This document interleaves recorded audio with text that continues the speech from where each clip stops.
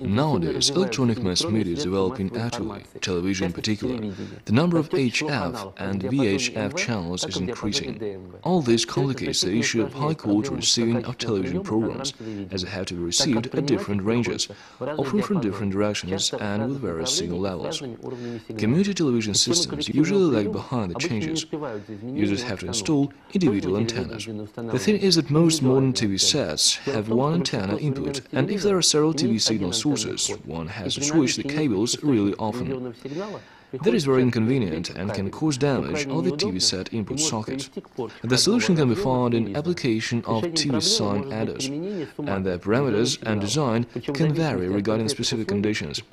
Our range of products is presented by the adders intended to connect TV set with one input to several antennas, for example HF and VHF antennas, or to three antennas, two VHF antenna and one HF, etc. Besides, the adders enable to connect various video equipment with HF output to a TV set. In situations when antenna input is already used, you will need an adder, which provides good input-output isolation.